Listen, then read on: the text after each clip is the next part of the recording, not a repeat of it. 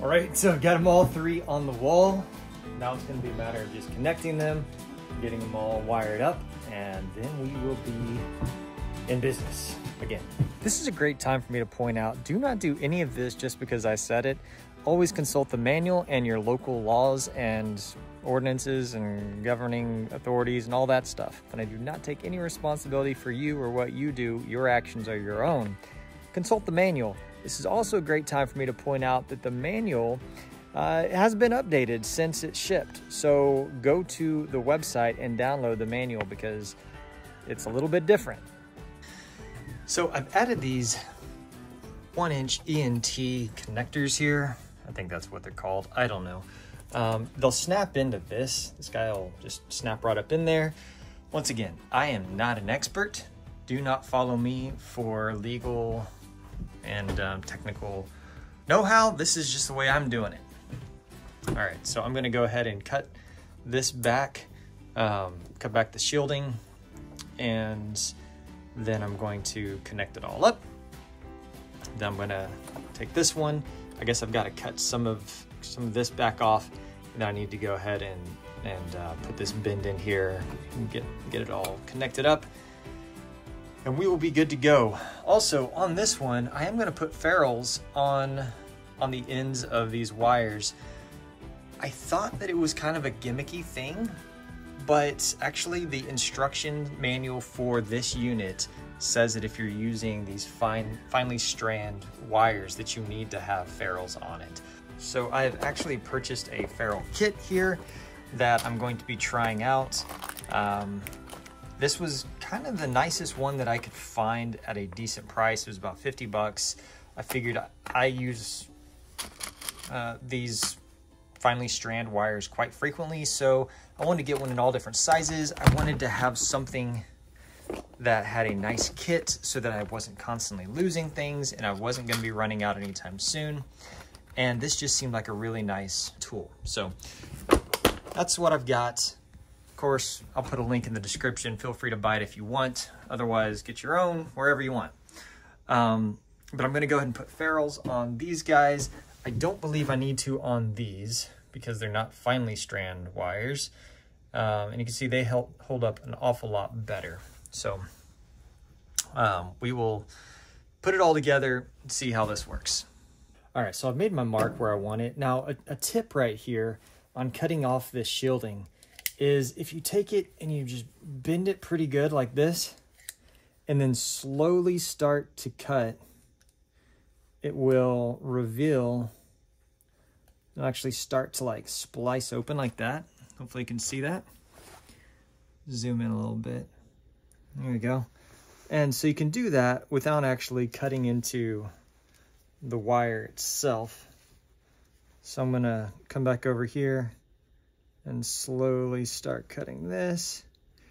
You can see it just kind of peels open.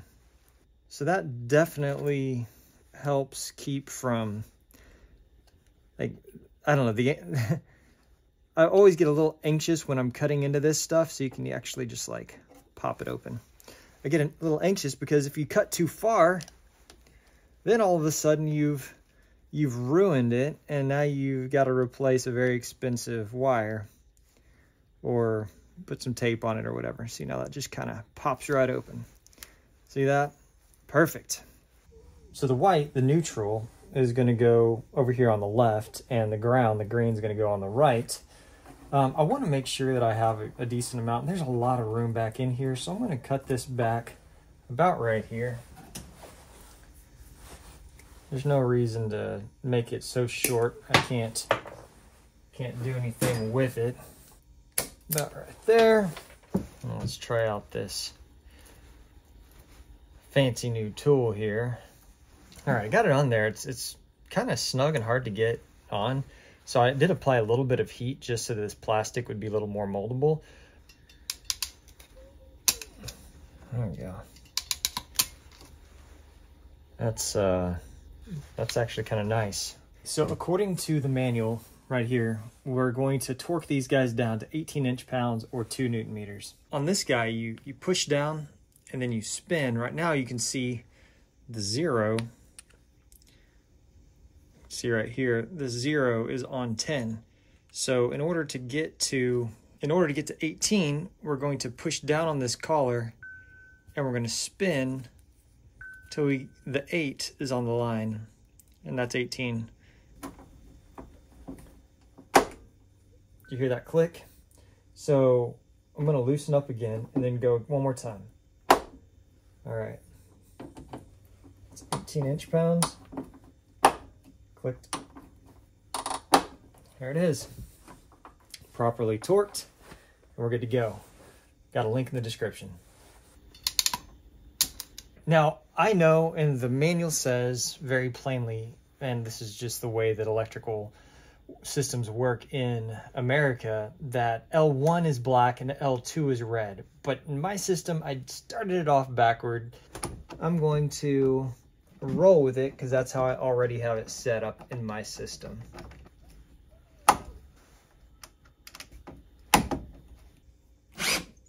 I've got these guys connected. Got my grounds connected here, neutrals, then my L1s and L2s. We're all good to go. We're all torqued down appropriately. This guy's snapped in. That's nice. Um, now what I'm going to do is focus on getting the battery cables connected. And to do that, as I mentioned uh, previously, I need to remove this guy because I don't need it anymore because I've got one right up here. So I need to take this guy off, take off the cover, and then we're going to splice this cable back together. I don't believe I have, gosh, it'd probably be, be cheaper just to put a lug on the end of this one and connect it up, but I don't know that, I think that's gonna shorten my cables too much. And I've already got these splices, so if I end up coming back at a later point and um, taking the splice out and putting a new lug on it, we'll, we'll go that route. But for now, we'll just remove this, splice it, and connect it up.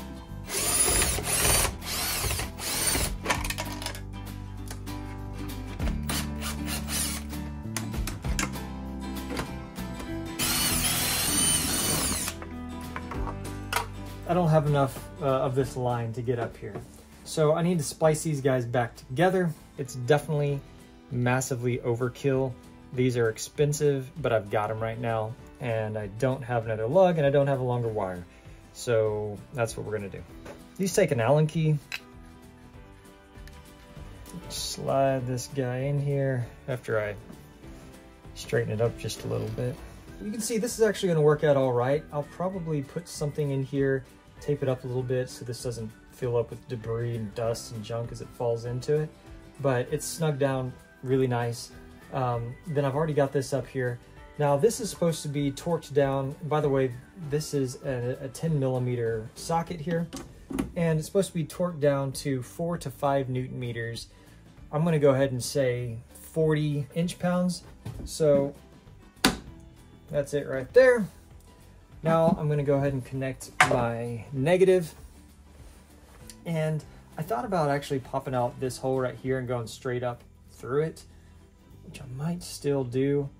I don't know. Let's let's see if we can go through here. Also want to be real careful not to cross those two as I'm doing it. By cross it, I mean touch the positive terminal with the negative.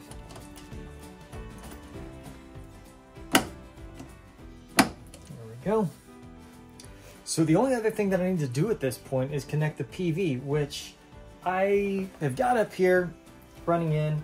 Um, I don't really have my solar panels set up at this point anyway, so there's not, I'm not gonna do this yet.